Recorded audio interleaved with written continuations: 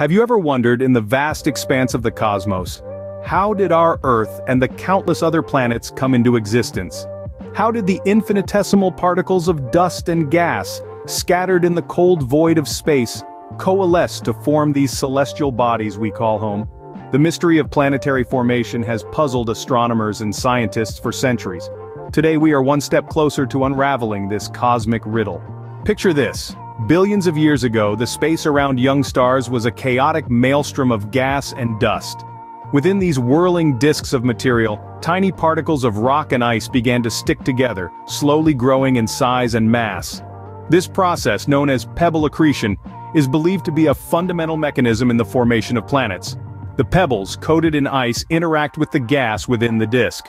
The friction between the pebbles and the gas depletes the pebbles' orbital energy, causing them to spiral inwards towards the star.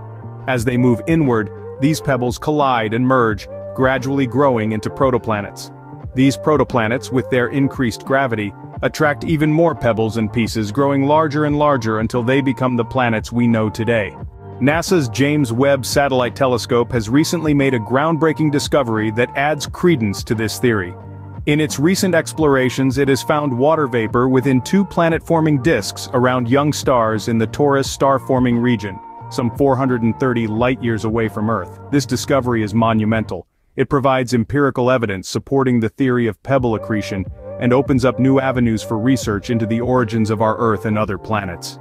It shows us that the formation of planets like our own is not just a random occurrence but a process governed by the fundamental laws of physics. In essence, the discovery of water vapor in these planet-forming disks is a cosmic breadcrumb, a clue leading us closer to understanding the origins of our planet and the countless others that populate the cosmos.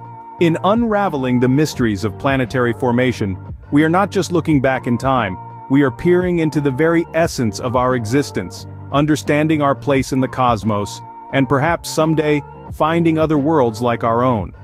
This is the power and promise of space exploration, and it is a journey that we are all a part of. This journey, my dear friends, is far from over.